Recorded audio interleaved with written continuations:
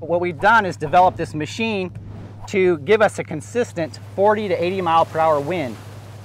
And this allows us to screen our hybrids and our germplasm every year.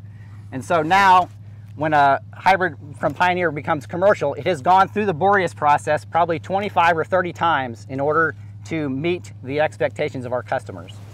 Or this wind machine, our Boreas machine, will come through and try to replicate about a 65 mile an hour to 70 mile an hour wind. And we're going to put a lot of stress on these plots and try to knock them over. And so the reason we're trying to do that is to really just try to increase our selection for what can really withstand some of these bad storms that we see in the area. And this year in 2020, we were very fortunate. We actually had a wind event come five days after we blew this with the Boreas machine.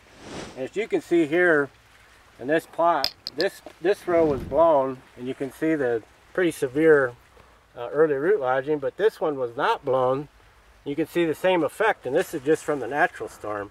There are the traded varieties out here, so there is Qrome out here, so that was a way that we were able to really characterize that one point of root strength that we, we gained going to Qrome um, by being able to open up the, the genetics that, you know, the wider profile of genetics that we were able to use the Qrome in. So this also helped determine that.